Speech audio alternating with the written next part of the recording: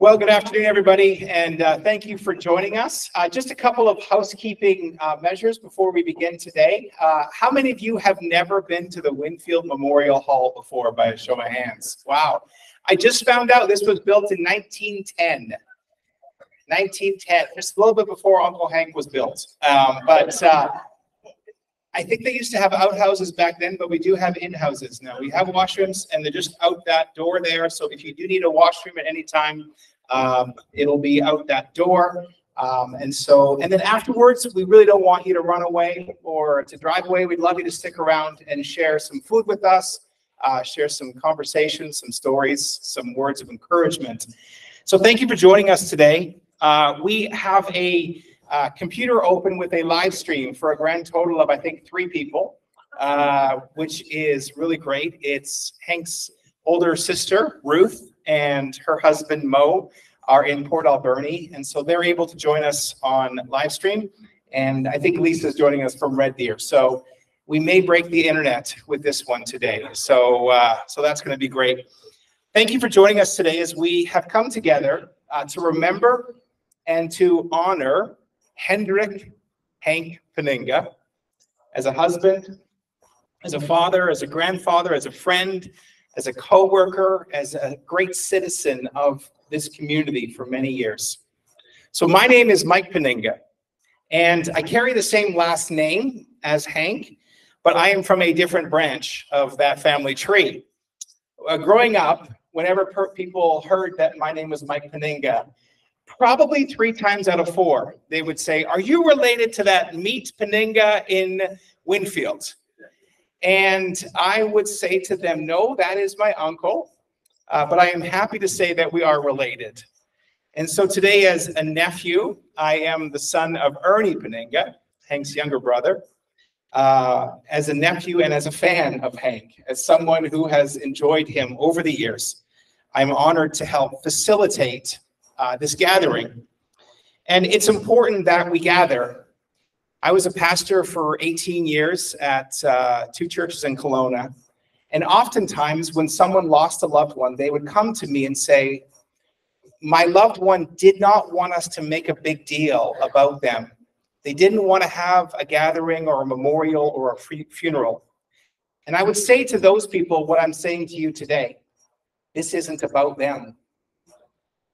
This is about you having a chance to remember them. This is not about putting them on a pedestal and telling untruths after they're gone. This about this is about us coming together and remembering the impact and the influence that Hank had on our life. This is for Cheryl, and this is for Hank's kids, my cousins, Gary and Keith and Leanne. It's for his grandkids who are here, Eric and Emily and Jessica and Eva and Reese. It's for Hank's sister, Ruth, and brother-in-law, Mo, watching from Port Alberni. It's for Hank's sister-in-law and my mom, Ruth. Yes, at one time there were two Ruth Penningas. Super confusing. It's for us cousins. And it's actually pretty special that today there are nine cousins from this branch together today. And I hope we can get a photo from youngest to oldest at one point. I brought den denim shirts for all of you so we can match lovely a little bit later on. So today is a chance for us to remember, to celebrate, to honor, to share stories. And you may find yourself laughing, that's appropriate. You may find yourself crying, that's appropriate. You may be reminded of a story that had long since been forgotten today, and that's good too. Uh, we're going to say goodbye, and it's not going to be stuffy or formal because that was the antithesis of Hank Penninga. It's uh, Hank's style to be simple and unfiltered. Is that fair to say? so the one who was responsible to keep the two Penninga brothers in line growing up was his their older sister Ruth. That's my aunt. She's watching from Port Alberni. And uh, Ruth has written a eulogy that her daughter, my cousin Janine, is going to read in just a moment tell us a bit about Hank's life. And there will be a quiz later on, so please do take detailed notes about this. And then we're going to have a chance to hear from Hank's kids. And all of them said to me, you know, Mike, we're not public speakers. And I said, That's good. Just tell us about your dad. And so we're going to just have them come up and tell us a bit about their dad. And then we're going to have a time, uh, the family has asked for an open microphone time. That always instills a little bit of fear in me as an MC. Give the microphone to people who might think that we're here to hear every one of their stories, which is not true. We would like you to come, though, prepared to share maybe a memory, a story, a reason that Hank had a positive influence on your life. And so, if that's you, we'll have space and time for that as well. And I'll close with a few final words before we enjoy some refreshments. Uh, thank you, Sharon and John and ladies, for what you've prepared for us. And uh, to be in this space is, uh, is pretty special. We are so glad that you've come. It is important that you are here. It is not just for you that you are here, it is for others. It is for the family to see the impact and the influence and the ripple effect of their husband and their dad and their grandfather. And so today, as part of our grieving and saying goodbye, we are going to lean in. And I'm going to ask Janine to join me up front here at this time. And uh, she's going to begin by sharing this eulogy written by Janine's mom, by Hank's older sister, Ruth. And so thank you, Janine, for this. We have one fan that sounds. I don't think we could be in a 120 year old hall without a fan just like that. That's amazing. So.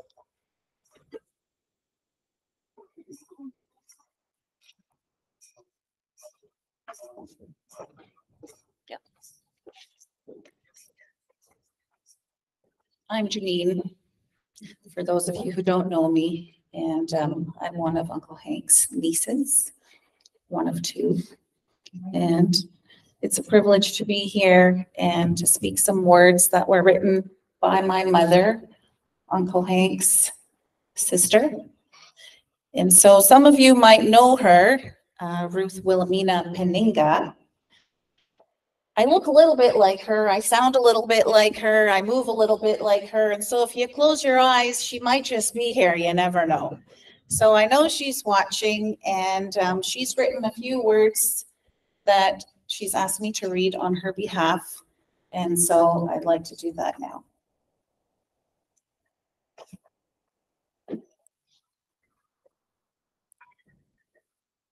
For those of you who don't know me, I'm Ruth Wilhelmina Penninga Amran, sister of Hendrik, aka Hank Penninga, not to be confused with my sister-in-law, Ruth Epp Penninga, whose husband Ernie was our younger brother and who just passed away last year. Hank was well known as the famous butcher of Winfield Meats, and later Hank's Custom Cutting and Wrapping. His younger brother, too, Ernie, was an equally famous butcher, cutter, and wrapper. And these two men were the sons of another well-known butcher, Garrett Penninga, of the Rutland Meat Market. Do any of you remember the Rutland Meat Market? Oh, there's a couple out there. Anyway, we all started our lives here in the Kelowna area, there in the store in April of 1958, after having immigrated at the end of January 1952 from Holland. Ernie had been born there in our dad's homeland, whereas Hank and I were born in Germany, close to mother's family. Hank was born on July 2nd, 1946. But he was a preemie and he needed extra warmth, even though it was summer. As I'm sure you can believe, there were no available incubators at that post-war time, so legend has it that he was placed in an open oven on very low, of course. Don't know if it was that experience or simply just genetics, but our dear Hank was a very special guy from the very beginning. Whereas Ernie and I, we were sweet, obedient kind of kids who could be easily controlled by a look or a pinch to the gluteal max, to the gluteal muscle from our dad. But Hank was definitely not. No, he was high spirited, strong willed, and determined to get or do what he wanted, no matter what the cost. And cost him it did, quite often, in fact.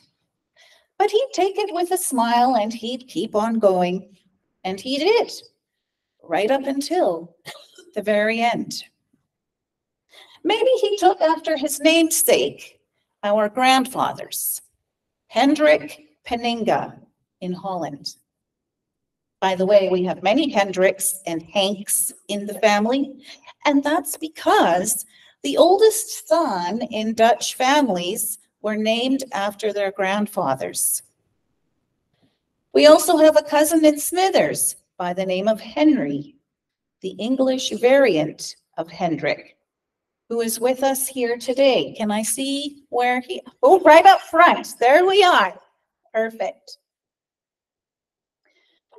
Grandfather Hendrik was apparently a fine, calm character who once caught hold of a mouse running up his pant leg to right about here and simply remarked, That's enough now. That story puts a big smile on my face because that took guts, wouldn't you say? My brother Hank was that kind of guy. Gutsy and with a smile. As has already been noted by many of you in your condolences on Castanet. Hank was truly a fun-loving, hard-working, happy-go-lucky fella. Yes. Sure, he could be a bit loud and abrasively straightforward, but hey, at his core, he was very soft and with a heart of gold. The kind of guy that you'd give the shirt off your back to. Back in the day, some 51 years ago, when I came home from Germany at Christmas in 1972, I came home to tell my family that I was probably going to marry Mohammed Amran. My brother Hank's memorable line was, What? An Arab? You couldn't find anyone else in all of Europe or Canada to marry other than an Arab? Because he was also the one when Mo and I and our three kids, Janine, Najee, and Tameen, immigrated to Canada in 1980, who built us a house in the backyard of Winfield Meats, just to be ready, should we need a home. As it was, we were put up in mom and dad's basement for six months until we could move into our duplex on Benchview Road in Rutland. We didn't end up needing that specialty built home, but that was Hank. Always actively ready to help. Mo and I moved to Toronto the following year in order for Mo to regain what he was in Germany before coming to Canada. But we eventually ended up in Calgary and then in Port Alberni. Hank and Ernie faithfully visited us in both places. And Hank often brought mom along too on those long eight hour trips. Mo and I truly appreciated my two little brothers and their families. We were very close. Sometimes we called ourselves the Three Musketeers. Seeing as we had survived the same immigrant experience together and the many moves our parents had to go through before finally settling in at Rutland Meat Market. It was those first five and a half years and the church hopping moves that followed that defined who we were and who we became. It was in Rutland Meat Market that my brothers learned their trade from a master with a diploma in everything meat related. That was our dad. Dad didn't hold much with schooling. A trade was more important, he felt, especially one that was guaranteed always to be in demand. And hey, after all, people always have to eat, he'd say. So the fact that by this time Hank was intimately acquainted with the principal's office for certain classroom behaviors, well, that gave Dad a good cause to take him out of school at the end of grade eight. Neither the principal nor Hank minded, and Dad put him straight to work in the world of deboning, chopping, and grinding hamburger as well as stuffing and smoking sausages and hams. Ernie was also introduced to those life skills the following year as he finished grade nine, whether he liked it or not. He often regretted not being able to finish school, but he ended up doing so on his own later and to his credit. Meanwhile, I often wondered and was amazed at how hard my brothers were working. As I'd see their dark ringed eyes and pale skin, their tired yawns every day, while I happily went my merry, merry way off to school, something just didn't add up. It wasn't until years later that I heard the true cause. Hank, being a very social, daredevil type, would climb out of his and Ernie's bedroom window, with Ernie right behind, of course, and take off for a night of fun and games with their friends. Often they'd make it back home when the light in the workshop below was on, which meant Dad was already at work at around 3 a.m. And they'd somehow sneak back in and get under the covers and catch a few wakes or, to, or pretend to be sound asleep as mom came up the stairs to wake them at 6 a.m. Hank was also the mastermind behind the souped up go karts that used to outrun the police on Rutland Road and Highway 33. Some of you remember.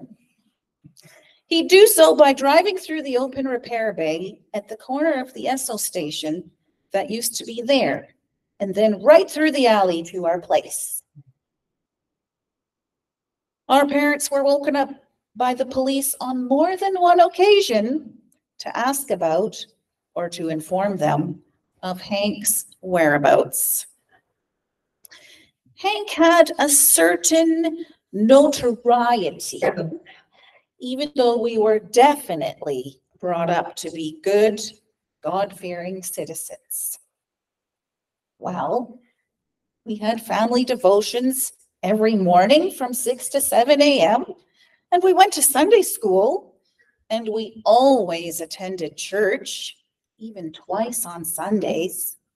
Plus, we went to any meet, midweek meetings. Having fun and adventure was just part of Hank's DNA.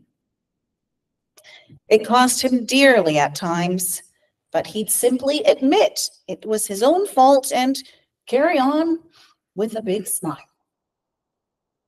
Like the year he spent many months in a body cast after crashing his first car, all the while repairing it in his every free moment out behind the garage. Oh, he was very mechanically gifted. He managed to put that little black car together again, and then using it and the money he'd saved, bought himself a big cherry red Parisienne at around age 18. He, of course, needed to try it out, and as usual the case, he took Ernie along for the ride out through the back roads of Glenmore. Well, they must have hit quite a speed because suddenly, so the story went, a telephone pole came towards them out of nowhere and hit them head on. Ernie's glasses were later found with their frames stuck into the hilt of the back seat, but Ernie himself remained in the front, although on the floor and at an odd angle, beside a calm and still and upright Hank.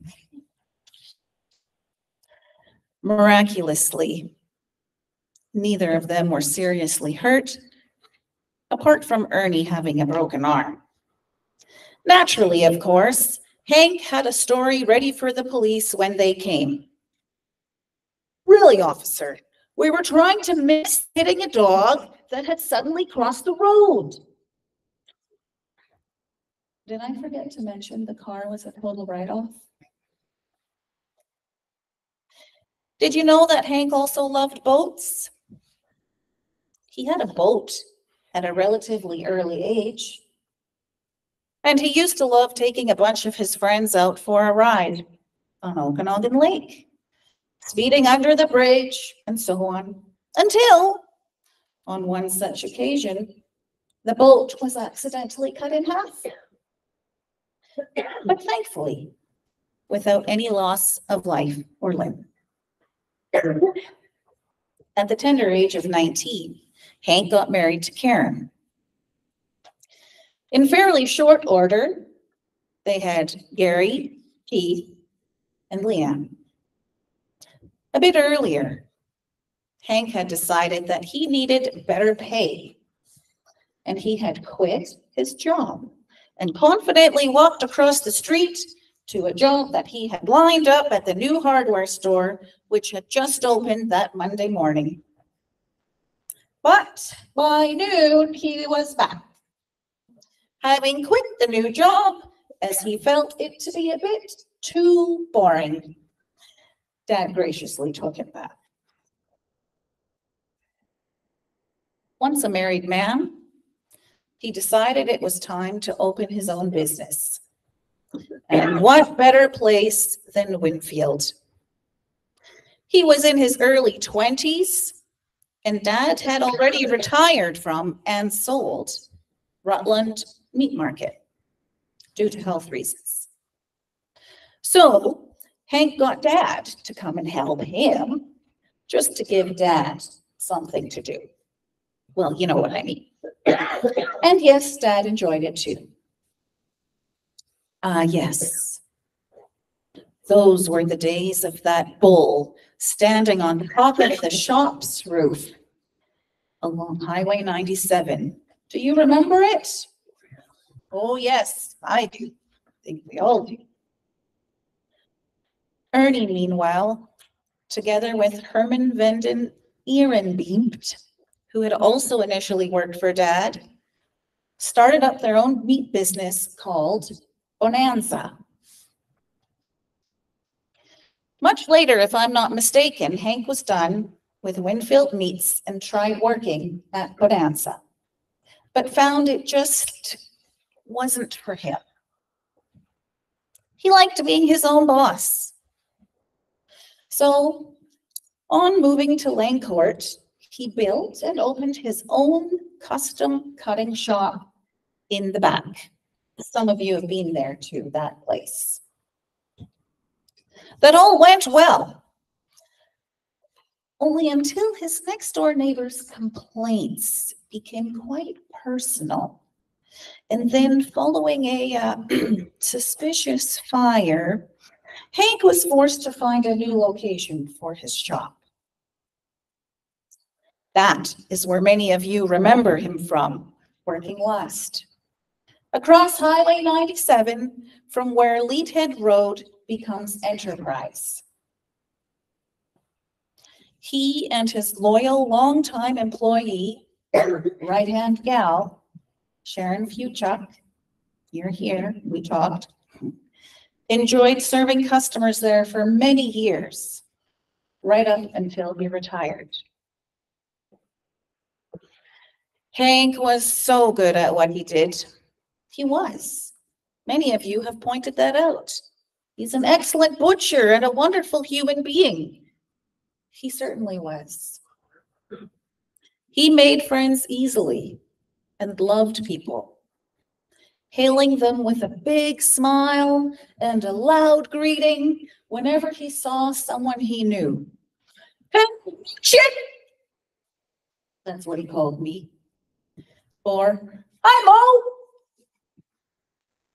Whereas Ernie and I tended to be introverts who avoided drawing attention to ourselves.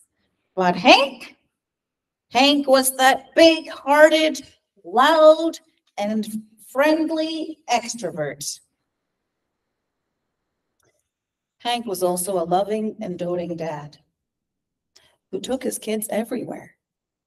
He took them California camping, to Disneyland, and then for ext- extended summer holidays to the Fintry. And he got them a swimming pool and whatever toys and games that their hearts desired. Well, at least that's how it looked like to my kids whenever we would come to visit my brother's place.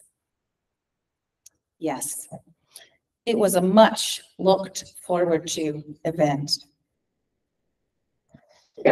My family appreciated going to see Hank and his family because we lived so far away from them.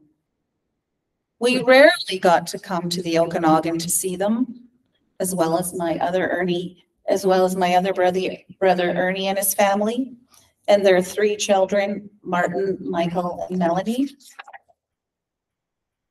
My close relationship with my brothers and their families was the main reason that Mo and I moved to Kelowna when I finally got Mo to retire in 2009. We loved spending time with both my brothers and reminiscing about the good old days. But as we all got older, it was time to slow down. And eventually, even Hank had to slow down. Unfortunately, ill health was part of that for Hank. But that didn't stop him. He now had a new hobby, train spotting. Do you remember this? He and Cheryl and the dog would venture forth in his pickup truck and spend whole weekends watching those magical metal monsters maneuvering around the bends of the rails. Hank loved filming the trains and also photographing them. He had an amazing memory and a mind for details and a great love for the trains. In fact, he knew them by name and number and often posted pictures and stories about them on the internet. Perhaps some of you have read or seen his feeds on the internet. He made even more new friends around the world this way. He and Cheryl also love to travel, mainly to Hawaii. But they also went to the Dominican Republic, among other places. Hank, Ernie, and Ruth, my sister-in-law, and Mo and I went for a trip to Germany and Holland to revisit our roots in April of 2012. It was the week after our dear mom passed away. Oh, don't worry. She had wanted us to go ahead with our plans prior to her passing, and we had a great time being together us three musketeers. Hank was a lot like mom. She loved being with people and telling them detailed stories about her adventures. She also loved the outdoors and sports and animals too. just like Hank did. Now, of course, Ernie and I know that you don't have favorites when it comes to your kids. But Ernie and I felt that when visiting mom, it seemed like a visit from Hank counted for two of ours. Besides, as he got older, Hank looked just like our dad, kind of like Keith now. And that reminded mom of him. His big smile, his booming voice, and his matter of fact style that never failed to cheer her up. Maybe that's why Ernie and I used to hear mom call Hank a man and a half. After retiring, Hank needed some work to keep him busy and to keep him in touch with his social contacts. In contrast to his brother, Ernie, who had retired years earlier due to health reasons and who had volunteered for years already at the KGH parking lot. Hank took another job with budgets, driving and returning loaned vehicles to where they had to go. He enjoyed it. In fact, he was still speaking of getting back to work when we visited him after being in the hospital about a year and a half ago. Yes, he was optimistic right to the very end. He was full of love for life, for his family, and his wife, Cheryl. Cheryl, he always gave credit to you for looking after him so very, very well. And especially in that last journey, those final months. We will all greatly miss him. But because we know that Hank was a believer in his Savior, we know that we will see each other again. In that place where there will be no more sighing, no more crying, and no more death. Hank, we look forward to seeing you there. And now if we can just close our eyes for one minute for mom's last words. We thank you, God, for all that Hank has meant to each one of us here. He was a unique and definitely a one-of-a-kind guy. God, you give us all so many gifts, and we give you all thanks. We ask you to bless Hank's family with a deep faith like his and grant each of them your peace as they move forward in his memory and leave with his legacy now as theirs. Amen.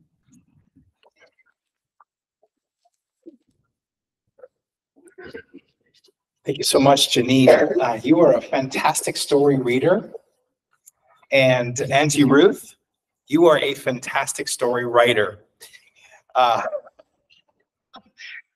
I uh, appreciate all that you have shared. And just so that you can see everyone who is gathered here today, would you just give a second to wave here, friends, at uh, uh, Ruth and Mo in uh, Port Alberni? It's very special. Um, I'm going to ask Gary and Keith and Leanne, my cousins, Hank's kids, to come up at this time together. And uh, so if you guys want to like just stand up from your seats and move towards me, then that's going to be great. Uh, there was um, a lot of good stories shared about Hank and my dad, Ernie. Dad was the younger one. One story I always remember, these were guys that were given knives way too young in life. And I think Hank would have my dad like lie down and he would practice throwing the knives like around my dad. And am I wrong? There was one that stuck in at one point. Did that happen? It happened. All right. So there is a bit of, uh, bit of sadness about that moment. So, um, so we're going to hear from Gary as the oldest and then Keith and Leanne. So thank you so much. Maybe just stand over here so that they can see you there. Of course. Okay, thanks, Mike. Um, From, you know, the perspective of the firstborn, you know, uh, growing up, uh, with, with Hank in the, in the meat shop, um, you know, all I have memories of is of the meat shop and just being around it. Uh, I'd, I'd be in the meat shop as a little rug rat. Um, you know, and, and when, when, you know, our age group was growing up, we didn't have the internet, we didn't have anything. All we were was, was, oh, thank you. All we were were just boys, you know, trying to keep busy, have fun, but uh, be exposed to, you know, the, the, the, the adults. And for me, it was, you know, my dad and, and the uncles. So there'd be Ernie, um, you know, Bob Eckhart, um, Uncle Kirk. You know, these are the, the figures that would be around the meat shop. And, and uh, as, a, as a kid, it'd be, it'd be, you know, kind of fascinating just seeing them in the meat shop, you know, working hard and they're there to work. So I'd be in there, you know, bugging them. I'm having fun. They're working. And just, you know, day after day, month after month, year after year, that, that's what I would see. And, you know, being exposed to that when you're, when you're a kid, you just sort of, you don't know anything other than that. And, and being, uh, being like the son, you know, I, I was expected to work and I didn't know any different. So uh, they, they, put me to work, you know, I'd be pestering them and, you know, they just, you know, what, what they would do is they'd, they'd stick me on a chair, because I was only about this big.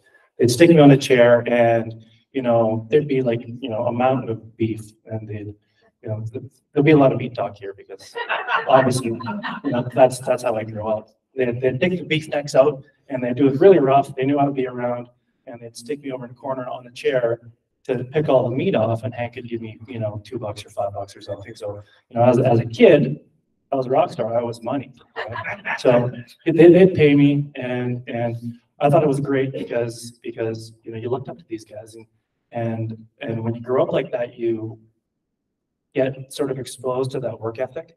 And, and that is one thing that definitely you had to, you had to kind of understand what Hank wanted. Because there was only one way to do things right, and that was his way.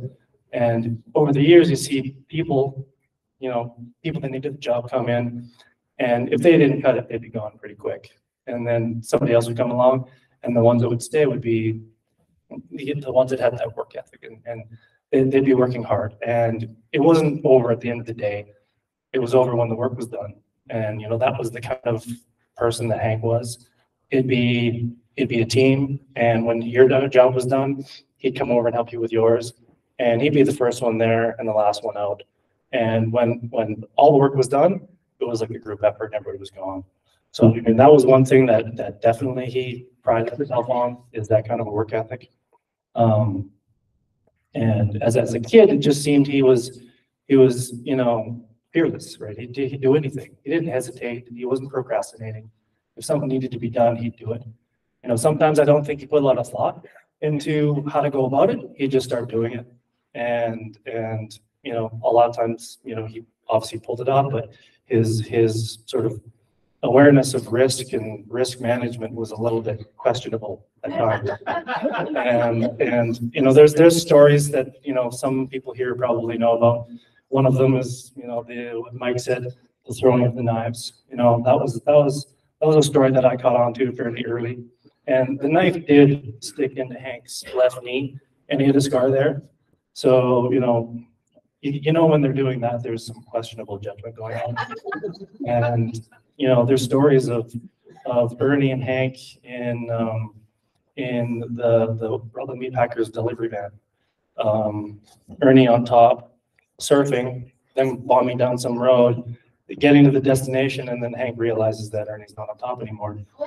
And turning around and going to find him, and he's crawling out of the ditch, because he just regained consciousness, you know, that kind of stuff. Um, uh, the, the, the, the story of the knife, um, you know, being a daredevil, you know, if, if there was something kind of questionable to be- done, it, it, you know, get Hank to do it, he would. Um, he broke his back, um, taking a ski jump on a toboggan, and I can only imagine the kind of air that he got But he just, you know, again, he'd just shake it off and, you know, eventually he let me do something like that again. Um, there's a, a story and, and Keith will remember this. We're in the, in the meat shop, uh, in the back, one of the walk-in coolers. And the rails were on, on beams and, uh, at one time, after a bunch of years, some of them were kind of pulling out. So he had to do some renovations. He did all that himself. And, uh, he, um, he had to take, cut some of the rusty bolts off. So he had a, a chair, this chair that I was, and by this time we were like seventeen or something. This chair, the one that I would sit on or stand on when I was like eight. You know, he had that in the back, um, cooler, in an angle grinder. And in my memory, he's got a colt in his mouth, but I don't know if he did or not. Oh, yeah. But he's, he's upside down with an angle grinder. and Whoever knows angle grinders, they, you know, they've got that sort of gyroscopic effect, so they're pretty sketchy. And he's upside down trying to cut off a bolt, and he needs to put his foot on the wall to, to, to, to kind of right himself. And Keith and I were watching this go on, looking at each other going, oh my God. And he pushes off to kind of reach this one that he couldn't quite reach. And the, the chair goes up on two legs. So the chair is on two legs. He's got his foot on the wall. We have an angle grinder upside down. And we just had to stop him, right? Spot, get down. And I remember him being annoyed at us for doing that because it was just like a few inches away. So we had to go get a ladder, bring it in there, let him kind of go about it. So we didn't see him cut his finger or worse. But, uh, you know, that was the, that was the kind of guy that he was. He just, he just go ahead full force and do whatever needed to be done. Um, you know, uh, the, the, the, the process of, of, you know, losing a loved one hasn't happened often to me or something that's close to me, but when, when it does happen, and I'm sure everybody here has had that experience where, you know, things that happened in the past, you know, like you long forgot about, they recall.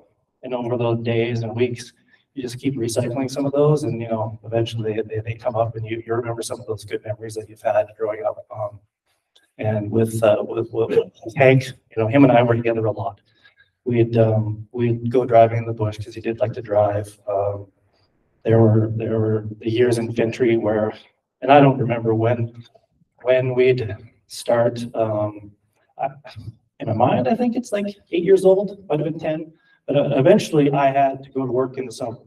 So summer holidays, you know, was kind of over for me at a certain age and I'd have to come with him to the shop. And he'd always be at Fintry, uh, every day. And he'd drive back in the morning in the boat to the, to the, the, the marina, put the, put the boat on the trailer, take it to work, work all day, go back and do it all over again. So that was like the Monday to Friday routine.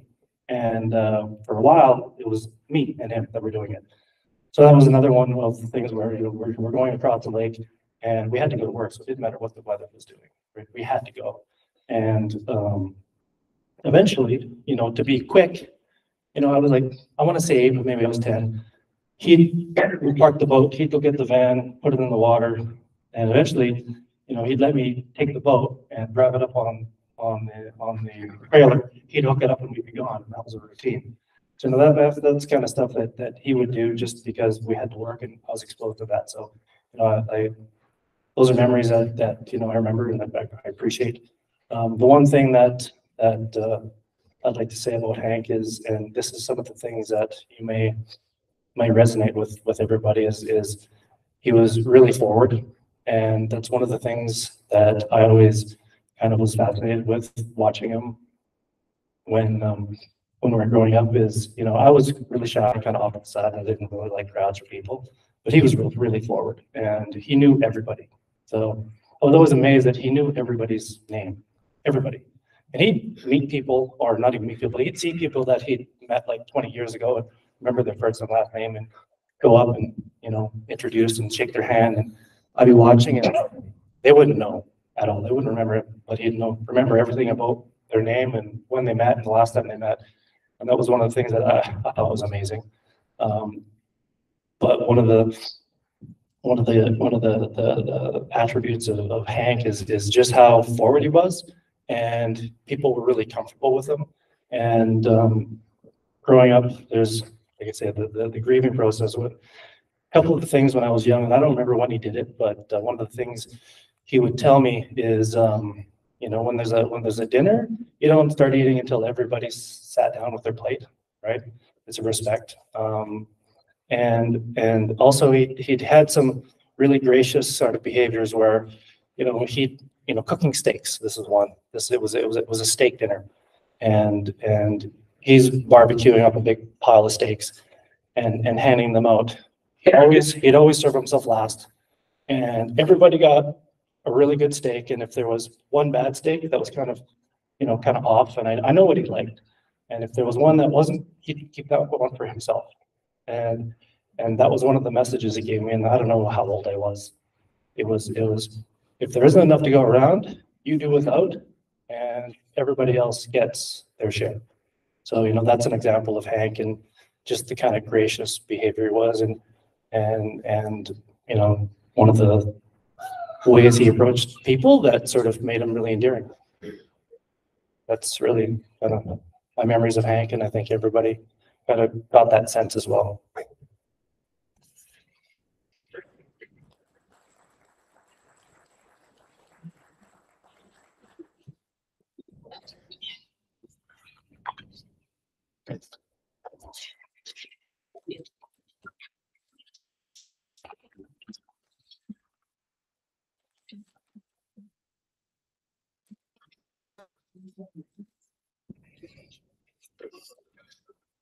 I'm Keith. Everyone can recognize my dad, me. I'd like to thank everyone for being here today to celebrate and honor the life of my dear old dad, especially the ones who traveled so far to get here.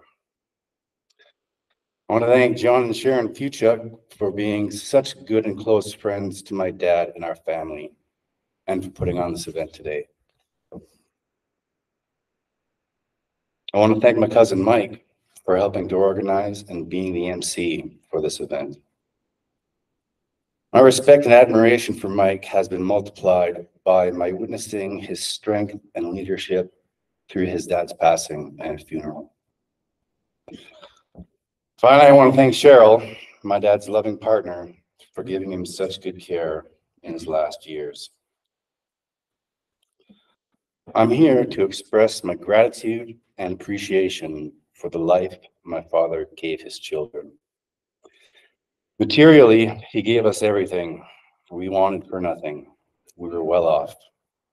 We had motorbikes, we had a boat, we had a cabin in Fintry where we'd spend our summers riding our motorbikes and water skiing. He took us to Disneyland twice and he took us to Hawaii twice. But way more important than all that, all these things he gave us, which actually made us who we are. Principles and ethics he instilled in us. Nothing comes for free. He said this over and over. If you want something, you have to work for it. And having a meat shop, he was always happy to provide us an opportunity to do so. Second, if you're gonna do a job, do it well. And when we didn't do a good job, he would take the time to show us how to do it better. Don't do something half-assed. Do something you can be proud of. He taught us to be frugal. He always repeated the words that his dad repeated to him. It's not what you make, it's what you spend. These words have always stuck with me and has made me what others call cheap, but I prefer the term frugal. He taught us not to be afraid of failure because it is from our mistakes that we learn to do better. Fortunately, some of these mistakes leads to physical injury, but I guess those are the ones you learn from most. Lastly, and most importantly, what he gave to us was a legacy. A legacy that came from a reputation that was attached to our name. A legacy which began with our grandfather, who started with nothing and built it over decades with principles of honor and integrity in business. A legacy which further, which was further built upon by his children and eventually inherited by us, and one which I could not be more proud.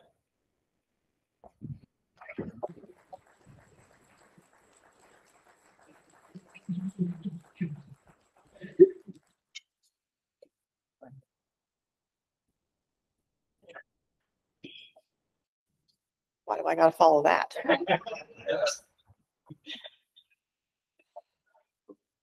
We are here to celebrate my dad, Hank Penninga. If you were in this town in the eighties, you know the Penninga name was synonymous with his butcher shop. My brothers and I can attest to it being a good and a bad thing.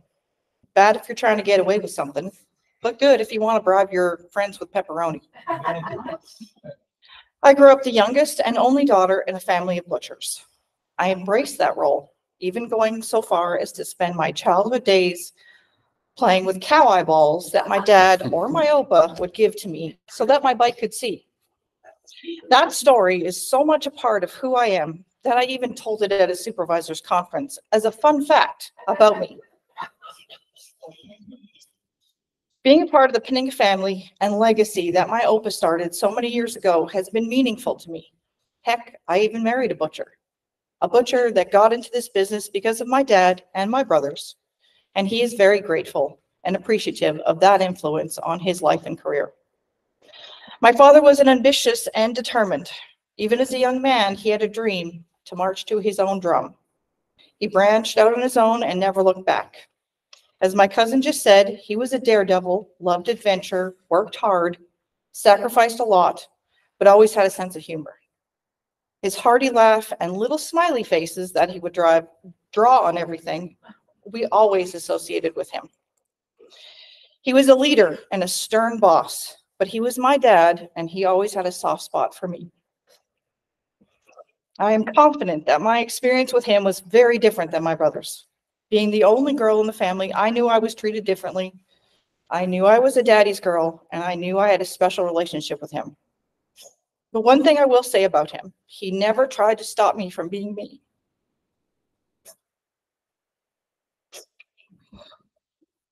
Coming from a traditional European family, I'm sure some of the things I wore in the 80s were not what he had in mind for his daughter, nor when I wanted to be a welder briefly when I was 19. He didn't tell me I couldn't or shouldn't. He always believed I could do anything I put my mind to. He worked hard at everything he did. He gave my mm-hmm. brothers and I a very good work ethic and showed us what it was to be proud of the work you did, not only at a job, but as a member of your community. He worked hard at having fun too.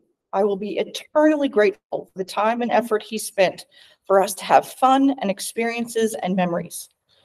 Those vacations and summers at Fintry will be forever in my memory. The weekend skiing and motorbiking I cherish now, especially because those times were mostly just him and I. He gave me that gift, the gift of happy memories.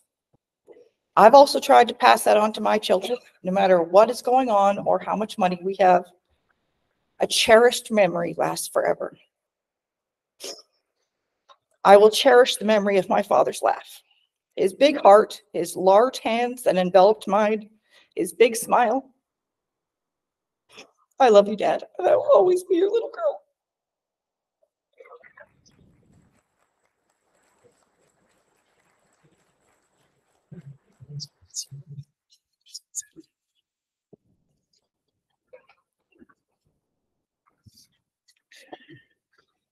Um, perfect tribute.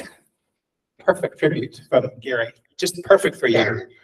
And Keith, so proud of you, man. Did really good. You had notes. You unfolded your notes. Yes, you look like Hank and Garrett. We named my son Weston Garrett. Penninga. Leanne, it's beautiful for your dad. Uh, the Penninga name means something pretty special, right? It's good. It's good when someone says your name and there's positive stuff with that. It's good. Just thinking, I didn't have this in my notes. Um, I would love to find out, for those of you who are here, if you have known Hank since the nineteen seventies or earlier? Could you just stand up where you are right now if you've known Hank since the nineteen seventies or earlier? Okay, wow, okay. That's a testimony. Now, if you've known him since the nineteen sixties or earlier, stay standing for the nineteen sixties or earlier. Okay? Now, do we have anybody here who's known this Penninga group since the nineteen fifties? Stay standing. Wow. Really? Fifties? Where do you guys know them from here? You probably have some good stories of them sneaking out of the house in the middle of the night.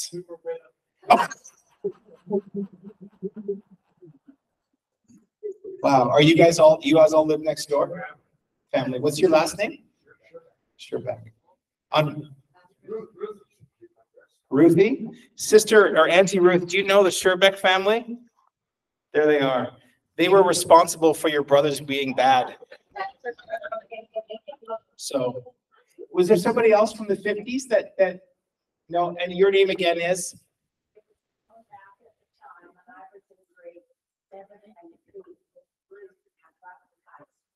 Your first name is? Joanne Salem was with you, Aunt Ruth, in your schooling in Rutland. Wow, cool, cool. Your name, sir? Oh, yeah. Okay, speaking of meat, Norm Doug. Yeah, yeah. Anybody else known them since the fifties? Yeah? What was, Wosterdowski? I would have loved to have been able to walk into the Rutland Meat Market and see Garrett and Marie Penninga and the boys. It's pretty special. My wife and I, uh, Jeannie, we went to Halifax. And we went to uh, Pier twenty-one, is that what it's called? Pier twenty-one is where all the immigrants landed. And in nineteen fifty-two, when my dad was four, I guess Hank would have been six. Is there two years between them? One year only? Ooh, sorry, Marie, Oma. Uh, we went to the place where they landed on that boat from Holland, uh, over to Canada. And, um, we just both burst into tears because we imagined the difference of our life had that decision not been made by our OPA. And, um, for an OPA who didn't necessarily believe in education, I look at the next generations and the next generations and the next generations. I look at that ripple effect. It's pretty amazing. This is an unexpected gift of today. It's just what we're sharing. Thank you for this. Um, it's two o'clock and, uh, we, we don't have much left, but I did want to leave some space for some open microphone time. I said earlier, it's always nerve wracking because you don't know who's gonna share. If Norm Duncan gets here, we're done, right? You know? But I think we would have some time, if you would love to come up, and when you do come up, don't be shy, just be like, my name is, and I knew Hank from, and one thing I appreciate, or one story that symbolizes this man. You would give a gift to the rest of us. You would. And so um, I'd love to take maybe fifteen minutes for this open mic time. So if you're like, I've been thinking about this, I want to do this, leave your seat and come up here and I'll stand beside you. And if I gently put my hand on your shoulder, it just means that we'll wrap her up. All right. So uh, if you are here today and you would like to give a gift to um, Gary, Keith, Leanne, Cheryl, those who've gathered uh, by telling a story of impact and influence of Hank, just join me up front. And uh, the first person is always the most difficult, especially the way that I set this up, really making this tough for you. I know. But we do want to hear your story, just not 17 of them. So uh, make your way up to the front. Sharon, I'm going to put you on the spot to come on up too, because I think you know Hank quite a bit. She's like, no, I can't do it. Yes, I'd love you to. This is another Henry. So Henry, I'm going to uh, let you share here and you can wave at uh, Ruth and Mo over there too. Uh, I'm another Hendrik Penninga. We, uh, live up in Smithers. We're named after the same grandfather. And, uh, the thing I remember most about Hank coming up to Smithers one time, Uh, it was hard for him to get away from his parents, but they let him come up and we were teenagers. And the first thing he did was uh, miss the bus in Prince George. And at that time, a fare, a bus fare was about forty dollars from Kelowna to Smithers. So he missed the bus and knowing Hank, he couldn't wait for anything. He grabbed a taxi. The taxi brought him to Vanderhoof, which is about hundred kilometers down the road. It cost him seventy bucks. But he made it. And yet we did sneak out the window once in a while when I was in Rutland with the boys.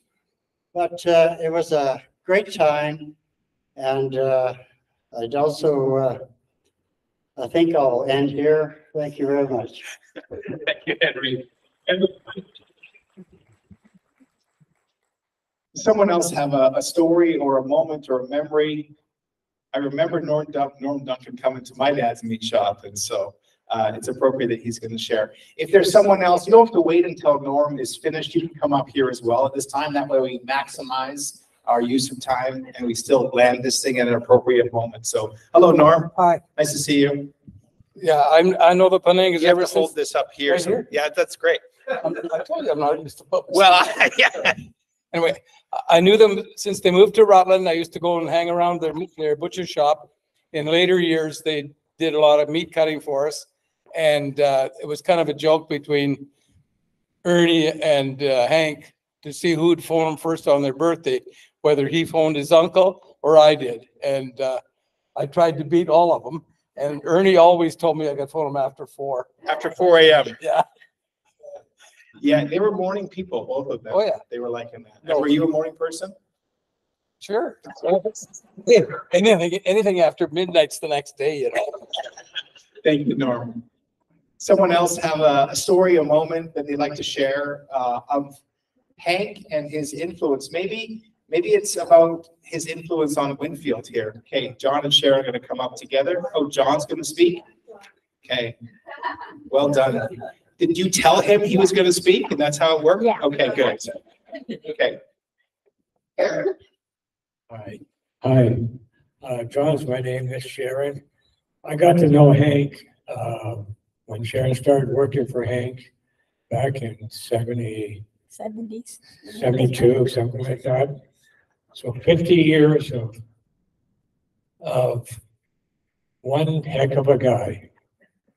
And there's lots of stories, but anyway, we, I, have- him and I have a friend in, in common, and it was always the same. We always said to him all the time, wooden head, Wooden shoes. wooden shoes, wouldn't listen. And Hank was that way. He had his own way. And his song, I would say, is I, I came, made it my way. That's right. And there was one time Hank and we, we went to, went to Hawaii with a group of us. And him and I, at that time, the, the plan was to have thirty-five uh, millimeter cameras with the big lenses. I would get a big lens, he would get a bigger lens.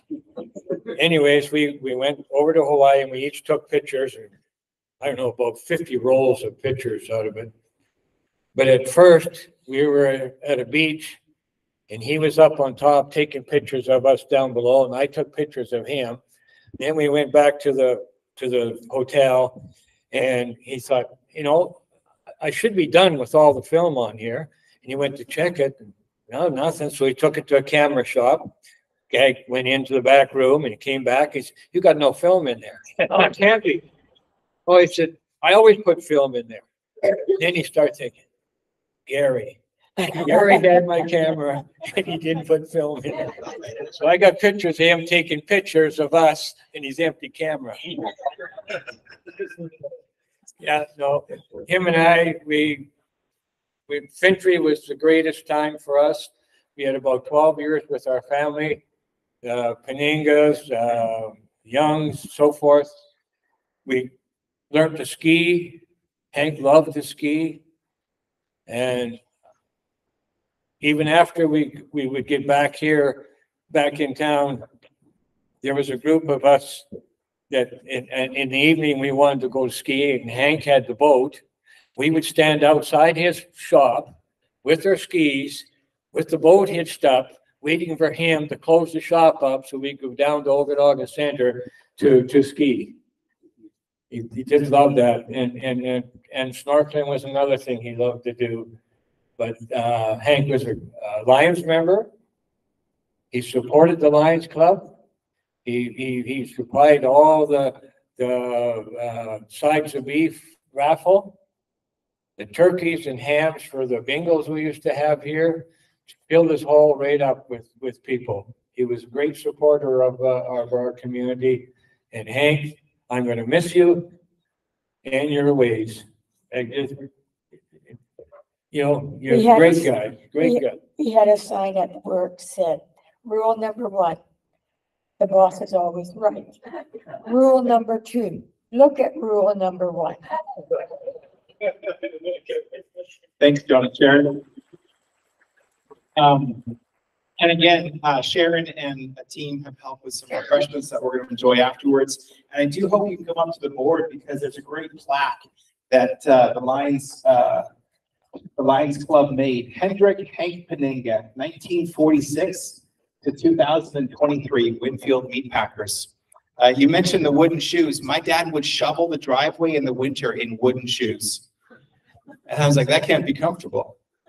And they say you can tell a Dutchman, but you can't tell him much. So that's also true. Uh, our friends here, come on up.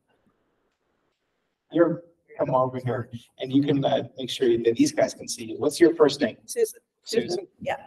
Um, when you're asking the question about how far we go back, and I'm thinking, really, how far did we go back? And it was the year that, that my late husband and I were married, sixty-nine, but they were, Hank and Rich were already friends way back, and, uh, so I- I'm trying to remember how our alliance happened, but hanging out with those two little snot-nosed kids with white, white hair and of course, Leanne was not even in the picture that, uh, after we didn't see each other, we didn't, we never ever had a falling out. We just didn't, you know, friendships left. And, um, but prior to that, holy man, it was like, uh, John and Sharon talking about being ready at the end of the driveway to go. Well, we- our cars pointed out to here and we waited and waited for Hank to be finished work so we could play Rummoli. And, and with the kids and the kids, but we did not play Rummoli with the kids. And, and, and we didn't drink, drinking wasn't a thing. We, we sat and drank coffee and laughed and played penny Rummoli and had so much fun. And then our two kids at the time and those two kids ran all over the house. And if you remember this little house up the street, um, there was a passageway that the kids loved and the closet went into Narnia. yeah, something kind of secretive that, that kids love, right? So anyway, we had good times. Rich and his, one of his mini bands played here all the time. And I think John and Sharon, wherever they went, they would attend all the time. I mean, we had so much fun. We'd get all dressed up and then walk up the street and come and party, party here. So it was so fun. But I also wanted to say, every Tuesday, my daughter and I would volunteer at the hospital. And we would relieve Ernie every time. So it was like chatting with Ernie all the time. So yeah, that was just so cool because we generally chatted about pain, but it was just sort of that, that alliance, you know, and when you're talking about living a name through the years, everyone knows that name somehow or another, you know, any of the old time clone people. When, when I said, oh, my friend Hank, I- just see that he just died. Hank Panning." Oh, the, the, the, the guy said, whatever the car was. It wasn't, it wasn't oh. Hank. It it was like, oh, eighty, or I think he Parisienne. alluded to the car earlier, Yeah, but yeah, that was the car because that was Hank. So that's good. Thank you. anyways, Susan. very fun.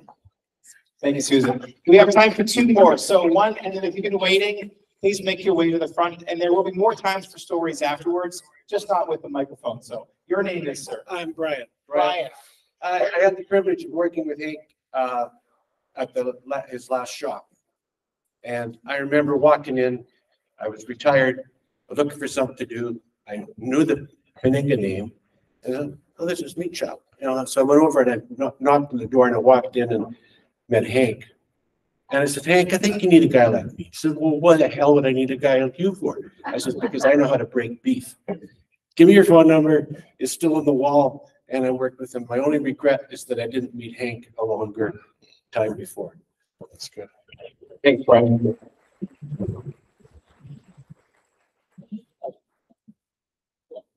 Hello, everyone. I'm uh, Jessica. I'm one of uh, Hank's granddaughters. You gotta stand over here so they can see Oh, you. sorry. Hello, guys. So as some of you know, we moved to Alberta about 12 years ago. Um, And I just wanted to let everybody know that I have met uh, a countless amount of people in Alberta that know the Penninga name and the Penninga legacy. And uh, that it lives on for, it'll live on forever. So that's all I wanted to say.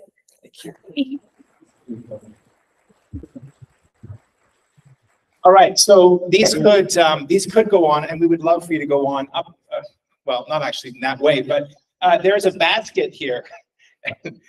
We just are, we've been in the process of moving my mom and I stole the basket from her garage. I put it here today and she goes, isn't that my basket? I'm like, yes, what, how do you know these things? Yes, we stole your basket for the cards. So if you have a card that you have written, uh, to Cheryl, to the family, and uh, you would want to leave that there, um, that would be wonderful. Uh, but even more importantly, as we enjoy some some food together today, please do uh, you know pull aside one of the kids, the grandkids, Cheryl, family members. Tell them your condolences. Tell them your story. It's one of the greatest gifts of moments like these. And uh, before we move into refreshments, I, I did want us to end at a place that Hank and the Penninga family began. Um, Janine, you shared so well. Every morning at six AM, my Oma, their mother, woke up three. Well, probably Ruth was probably up already being perfect, Ruth. So we're just assuming that. We're assuming that to be true. But the brothers, and they would go downstairs and have breakfast and an hour of devotions. And I think at dinner time, they also had scripture reading. And so I think what we see this legacy being built off of is a core of faith and integrity that just spills out in a lot of ways. And um, Hank knew Jesus. There's no doubt about it. And over the years, his faith was two things it was present and it was personal. And so today, as we close, I just wanted to encourage us with the reminder that Hank held this close. It's this the grave is not the end. This is what he believed. This is what he taught. This is what we live. This is what Christmas actually indicates. God came near so that we might find our way home to him. So I'm just going to read one passage of scripture, just six verses from the Apostle Paul's letter to the Thessalonians in 1 Thessalonians 4, verse 13. And I'm going to share this from a paraphrase of scripture by Eugene Peterson called The Message. It's beautiful. Listen to these words today from the Bible. And regarding the question, friends, that has come up about what happens to those already dead and buried, we don't want you in the dark any longer. First off, you must not carry on over them like people who have nothing to look forward to, as if the grave were the last word. Since Jesus died and he broke loose from the grave, God will certainly bring back to life those who died in Jesus.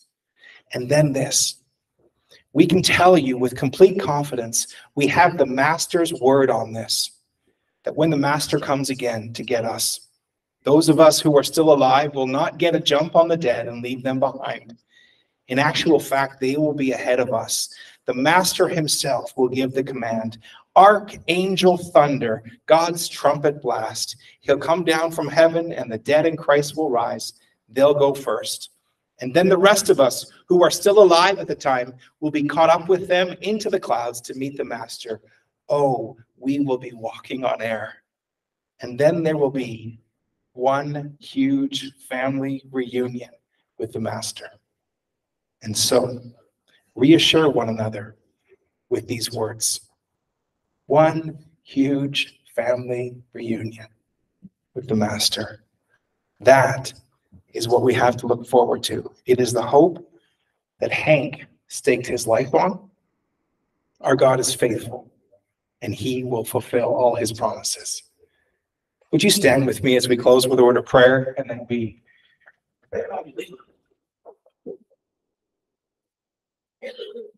just invite you to bow your heads and if you're comfortable just closing your eyes, let me just pray as we close our time. Heavenly Father, thank you for promise that the grave is not the end. And thank you for the message of Christmas that you have come near. Thank you for our husband and father and grandfather and friend and uncle.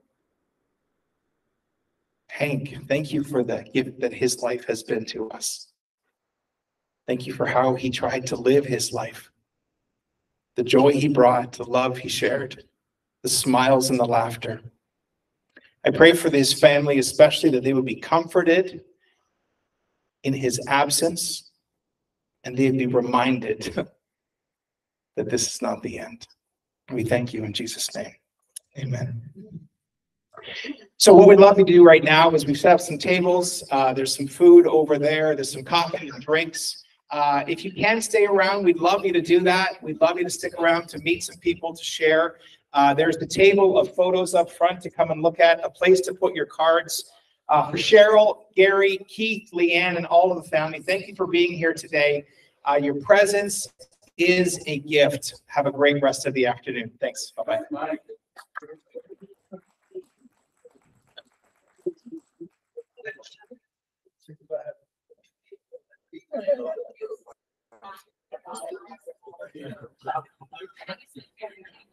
You get so good.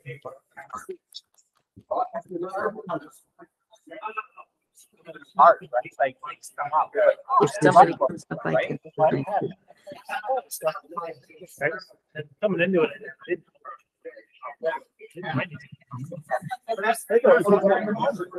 Thank you. Thank you. Thank you. Thanks, Mike. Thank Roger Parton, nice to see you. Yeah. Well, I'm an old friend of Hank, way back. My wife used to work for him. but- Really? Just down the road here? Yeah, my My first goodness. place. Wow, wow. Come up Uh, he's a well-known man. Yeah. Well, he just loves my mother. Yeah. Yeah. Oh, that's so- Oh, Germans are the best. Yeah. So I want to meet Cheryl. and Cheryl Leanne. is right here, and then Huh? Leanne, Cheryl? Cheryl is in the pink jacket, and then Leanne is in the black jacket. Yeah. Yeah, Roger. Hey, Mike, that was great. Thank you. Thank you. Can you. you hear us? Yeah, I can hear you now. Oh, can you hear me? Thank you. Yes, Thank you. yes. It was the nicest, nicest event. Nicely done. Your, your, Ruth, your eulogy was such a beautiful starting point, and Janine did such a good, her expressiveness. I'm telling you, she's fantastic. She did our twenty-fifth, Yeah, twenty-five minutes of talking. Yeah. She was amazing.